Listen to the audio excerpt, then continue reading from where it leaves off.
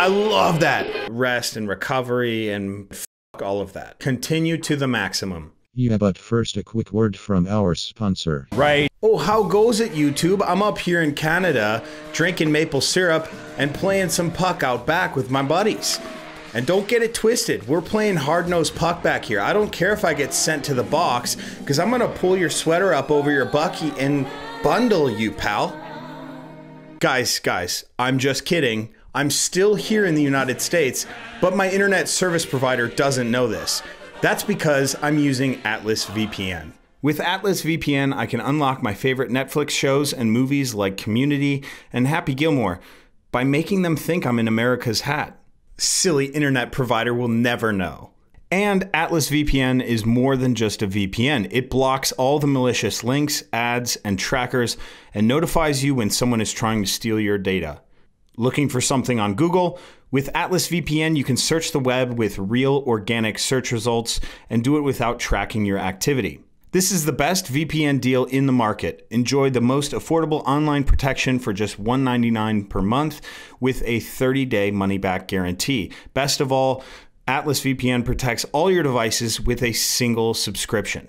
So go to the link in the description or go to get.atlasvpn.com slash Zack Telander. Get yourself this Atlas VPN because it's not that bad up here in Canada, eh? Hey, no, stop. Just calm down. Don't do it. All right, ladies and gentlemen, today we're going to look at the finest weightlifting team in history, and that is the Bulgarian weightlifting team. A lot of people may know the term Bulgarian lifting. Uh, it took off, I want to say, like in the early 2000s, you know, uh, bodybuilding.com forums and, you know, T Nation, stuff like that they kind of bastardized the term Bulgarian training. And all that really means is like building to a heavy single every day and then maybe doing some drop sets. Um, but the idea is that the muscle recruitment and the neural ability to gain proprioception from doing one rep maximums was actually beneficial. And it is to a certain degree.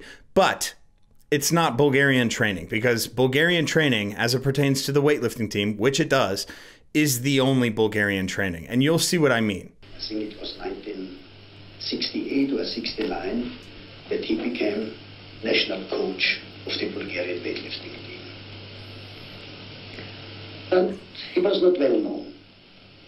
I think nobody respected him outside these countries.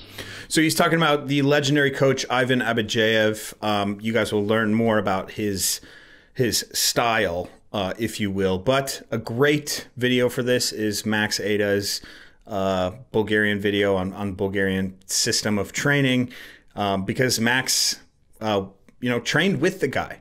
He, it's a really interesting story. Max always told me, you know, he would drive like two, three hours per day just to train with Ivan Abadjiev, and uh, it was hard. It was very tough. Like the the short, compact version of it is maxing snatch, clean and jerk, and front squat, maybe a pull, uh, three times a day, every single day. One day off, I think, actually. You get Sunday off. Um, but yeah, that's what he did. That's what Ivan Abadjiev did, and that's what made the Bulgarian weightlifting team what it did, um, as well as, you know, grandpa's cough medicine, if you know what I'm talking about. He was one of many, many coaches. No special ideas.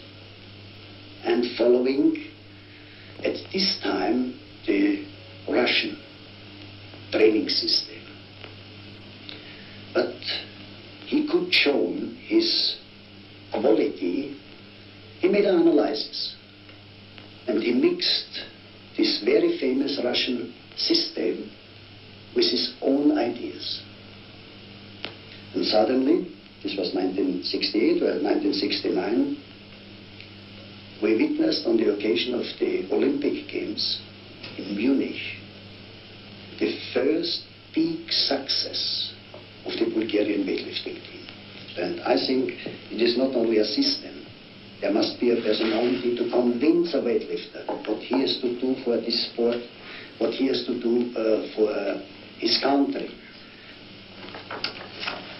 And after such results, many officials, lifters, are coming to me asking me, what could be the secret of such performances? And I've had this question to myself. I was studying. And then I was, I found out there must be something behind this. Okay, so uh, just as a preface, you know, he, he, Ivan Abadjiev, he knows the Russian system of training, and he wanted to change it and, and tweak it a little bit.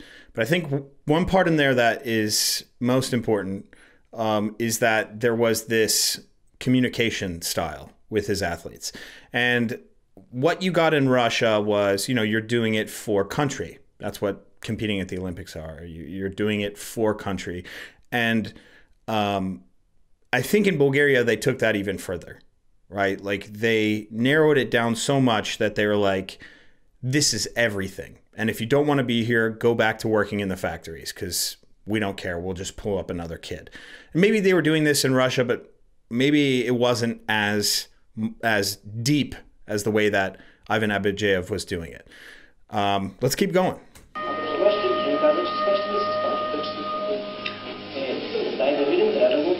See, why didn't you sleep last night? Find ways to calm your sleep down. Everything that hampers you has to be arranged for. Easy, you're not hampering.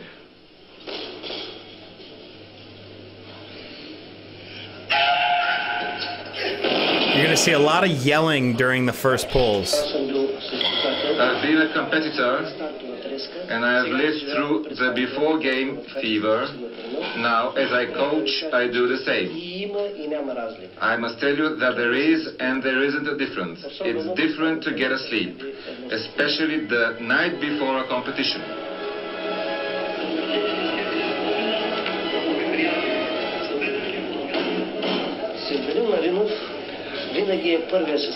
Sevdalin Marinov is always the first competitor who enters the fight in our team. We knew there were two strong Chinese competitors, and the fact that USSR was competing too, we knew they never let weak competitors appear. That's why we have the aim to prepare the first competitor in such a way that he must at all costs become first. Hold. Hold yourself.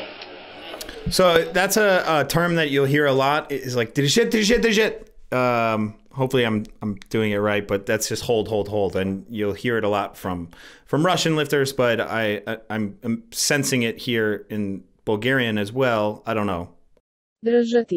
I'm look, I don't know too much about Eastern European languages and linguistics. I just hear dijet, dijet, dijet all the time when I'm watching these uh, lifts. But yes, Marinov being 52 kilos.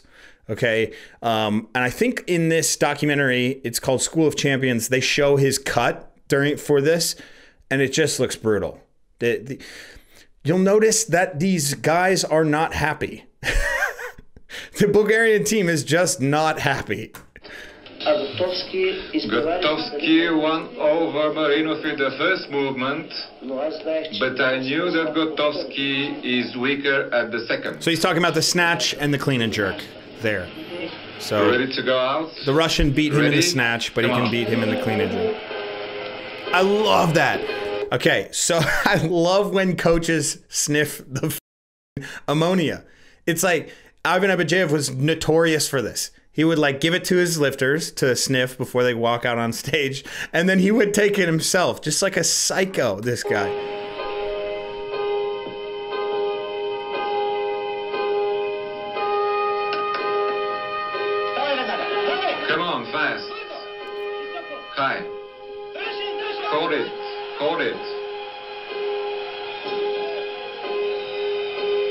145 at 52.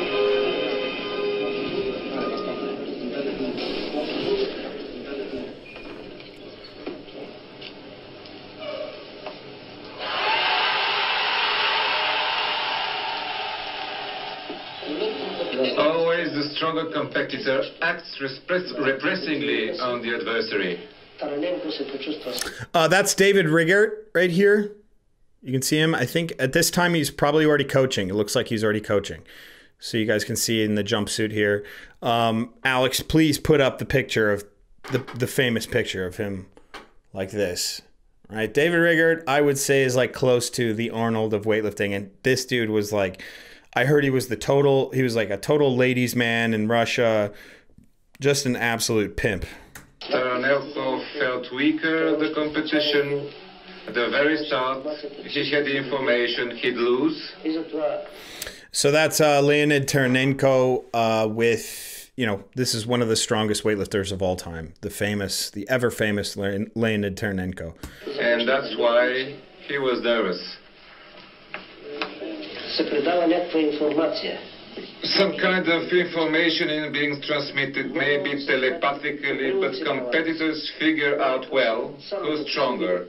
Just by looking at each other, by the expression of the eyes, through the behavior, they feel the percept who's stronger.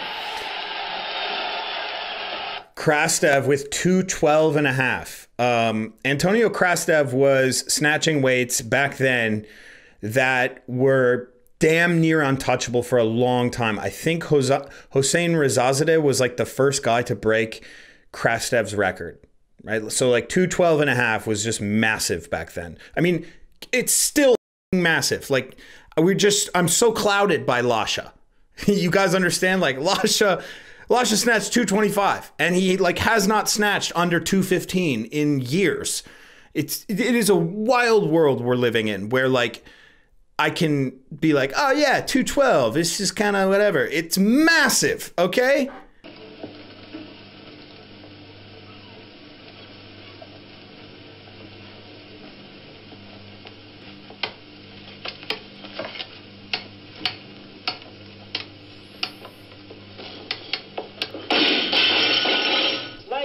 Okay, so I don't know. There is a there's an Iron Mind video of uh, it's called Unbelievable Bulgarians, and and this is like the Bulgarian trend had just started here. This is like not maybe not the prime because there are some later actors in the uh, Bulgarian saga, um, but the the training hall there was like brand spanking new, and it was it was in Sofia, and I'm wondering if it's in the same place in this video, but it's a pretty damn good training hall here. You train with greatest unpleasure on Monday's first half day. So this day, Sunday, must be settled with. It appears to be, the day off appears to be the most tiresome. You have most complaints. You feel worse following Sunday, sad, tired, exhausted, injured, feeling the pain here and there. And I'll settle with this problem if that happens on Mondays. Continue to the maximum. That's it. That right there. Continue to the maximum. That's it. Your pain, your tiredness, whatever you feel, and continue to the maximum. It's interesting, you know, in an age where we talk so much about RPE and uh, rest and recovery and, you know, all these different hormone levels and uh, optimizing program. And this guy just said, fuck all of that. Continue to maximum. Um, yeah, and like this, this is this is what I gained a lot from from this documentary is is that um, Ivan Abadjiev is constantly like preaching He's not just speaking to his athletes, he's like preaching. He's like a dictator and he's just constantly preaching this message just over and over again. And a lot of times the guys are just like, it's like, how excited can you be? You know, you're you have no idea how many sessions you've done, how many times you've maxed out at this point, and your coach is speaking yet again just to kind of hear his own voice. I, who who knows if this helps? Who knows if this works? But this was, you know, where Bulgaria was starting to become successful, and this was one of the patterns that, you know, you'll see throughout.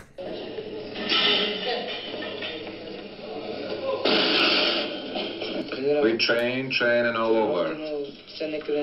But always something crops up, something to work upon. If a casual person watches us, he would say, they should be happy with their success.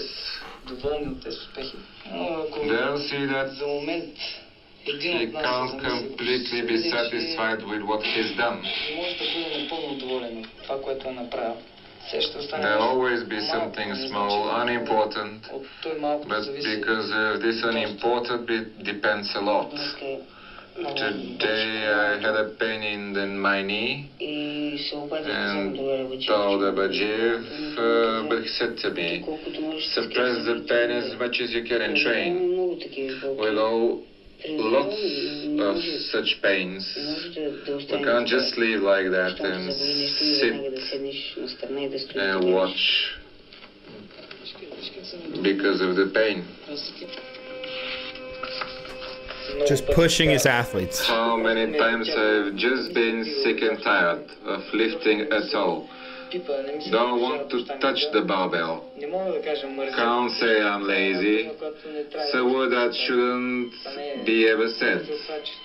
Not laziness, it's just a disgust towards the barbell. It's a tiredness which don't let the muscles Look at how miserable they are, man. Your mind doesn't let you. It puts you on the bench and says to you, no, don't, don't go. The training does not tire me that much. There's the psychological pressure. The difficult thing is that our sport is dull not like cycling. They say we pedal all day. They do, but they see the landscape, they see trees. So this is something that Max always said to me. Um, he said, "This is it's a, it's like banging your head against the wall. Like there's there's a wall right there, and if you bang your head enough times, you're gonna chip away enough layers to where you'll be able to step through the wall." and that's like your competition and you know having some sort of competition lift. These guys are in this room snatching, clean, and jerking so often and so much that it's breaking them psychologically, and it's just an incredible thing to show here. And and something that he's saying here is like, you know, at least when you cycle, you get to see the landscape. At least there's something refreshing about it and new about it every time. Um, but I will say this: I used to swim when I was little I think that psychologically is one of the worst sports I've ever, ever been a part of. And I, I honest to God don't know how a teenager goes into hard training. You can't speak to anyone because you're underwater. Not that you could speak to anyone while you're cycling, I guess, or while you're training hard, but um, you're just looking at floor tiles all day, right? At least in this, you can rest, you can look, you might be able to talk to somebody. Maybe you're too tired to even talk to somebody, but you have that opportunity. In uh, in swimming, man, it was awful. Just staring at the floor, doing repeats and dying. Pushes. Well, with us, it's all the same. The hole, the barbell, resting bench, and that's it.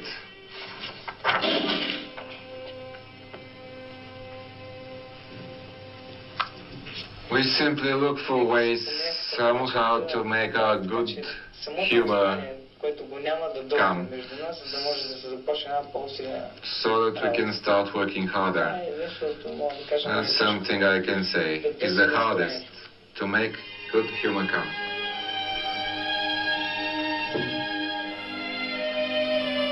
Oh.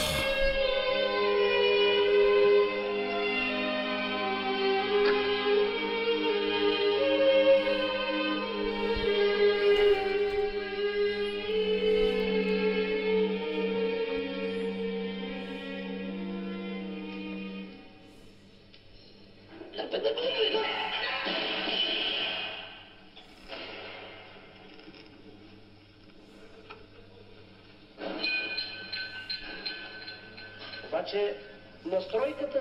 the way one looks at training takes a long time. You're here, here. For a long time he hasn't concentrated. We tried with light weights and now he can't. Let's see now. I'll change my place. Hope he'll do it when I'm at another place.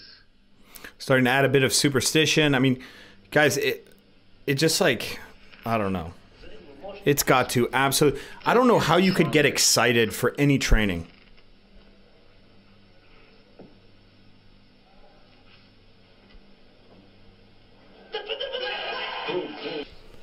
So so here he's he's not even close. He like he's not even close to making it. I did. Later I'll lift 175. As you work, you won't be able to reach this base you aim at, at least for 185. But 185 is a good jerk. You know that you can come out of it. You can do it. But someone must tell you to wind you up, just like I did now. Well, not all trainings should be like that. But even if all are like that, that doesn't mean that it's a training process of the future. But at least there should be a few such trainings in a week. Although the camp is year-round, we have days off. Wednesday from 6.30 till 10.30. Saturdays we can be absent all night. We sleep home. That's our three hours. Okay, so Wednesday from 6:30 p.m. to 10:30 and then Saturdays all day off. So like when when they say like free time, right? Wednesday 6:30 to 10:30. That's 4 hours where they're not training, but basically they train all day. Basically. If they're not eating, they're training or sleeping. Like literally. And then on Saturdays they get time off. During the week, Sunday afternoon as well. And we go in groups. Our team is divided in two, married and not married. The married ones go home, the bachelors wander around the coffee bars. Usually before big events, we do control competitions, kind of small tournaments. There are, let's say, seven or eight such controls before European or World Championships.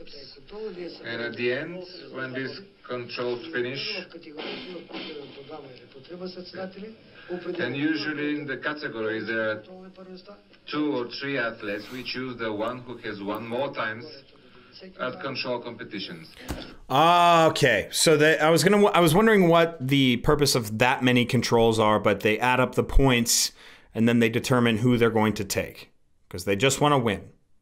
Like they, they don't even care about being second or third. It's it, it's one or nothing. So what they're doing with these controls is then determining who's going to go. Um, but what I was thinking was like kind of it, it's the the idea. Another thing Max was telling me um, was that we are going to train and make training so difficult that competition feels easy, and um, you know that's what you see a lot of times with the champions in in many different sports. I, I was just you know thinking like if the controls are so often how could you possibly possibly be excited for the meet and do something that you can't you ex- you don't really expect that you can do um, but they're working on the complete opposite side here they are working on the idea of been there done that by the time we get to the meet Quickly.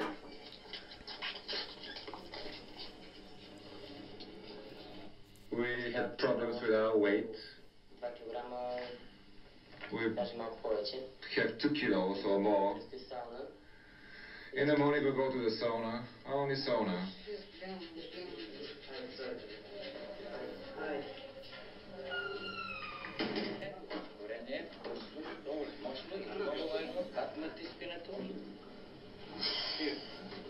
Enough, doctor, enough.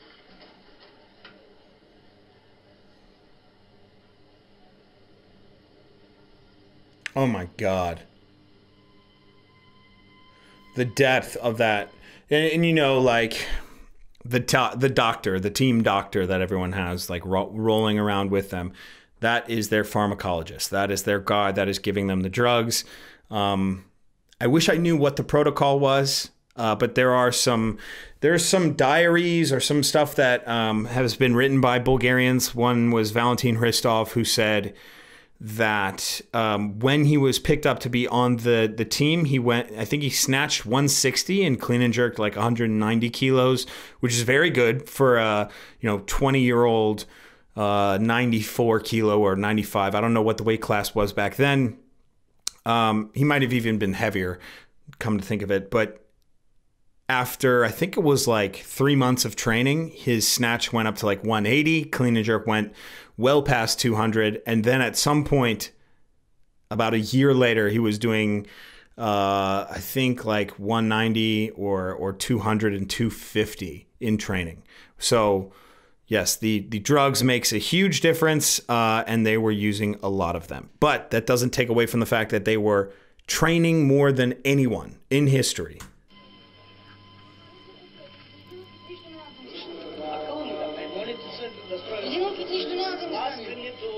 Wind yourself up. I'll be okay. What is that? It's probably just like a sports drink or something. I don't know. This time, don't worry.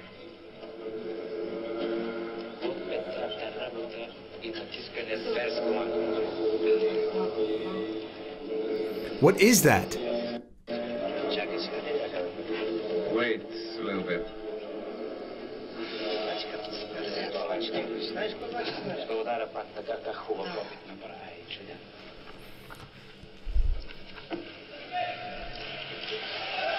Is that 50? Is that 150?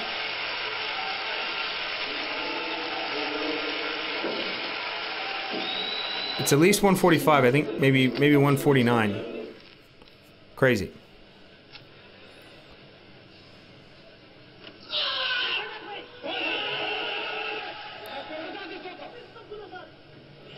One seventy five.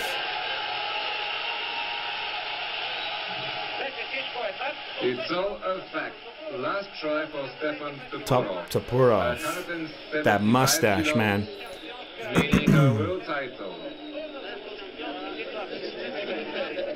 Congratulations for your first. Man, these guys are gonna be happy for for a couple hours, man. Petrov. it now, hold it. All these guys are legendary names, man. 155. Not only with the title Jesus champion, Christ. he was convinced to win, but a world record too. 200 and a half.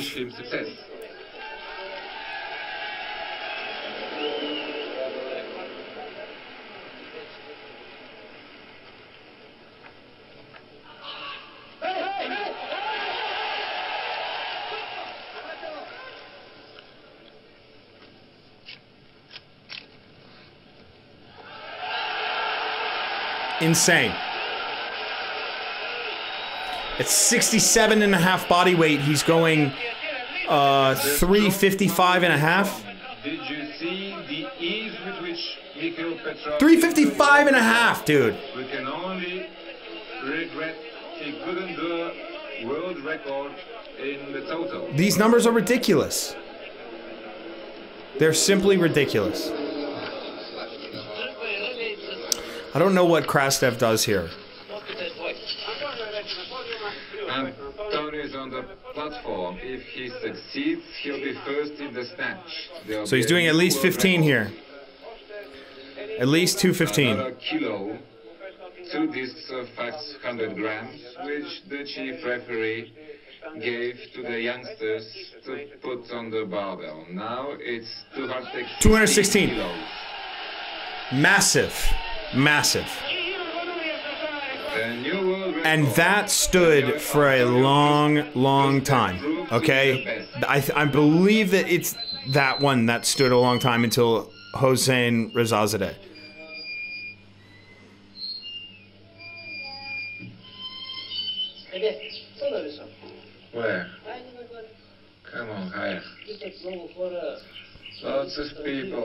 Me if they're cowards, if they're scared.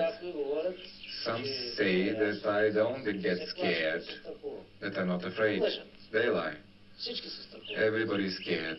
But the difference is that some, although they're afraid, they go to dangers and overcome fear. Others give up. In this respect, I'm afraid too. But I think I can overcome it. We still go to European World Championship. Although we're afraid, that's it. I go there no matter what expects me.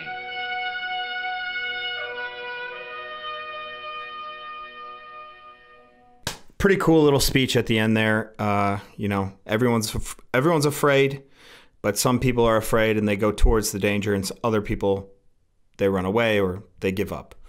Uh, it's definitely a lesson to be learned, but I, I, hope you guys maybe gain some knowledge. And if you want to check that documentary out, it's called School of Champions. I believe it's free on YouTube. Uh, thank you so much for watching. Please subscribe, and I'll see you in the next one.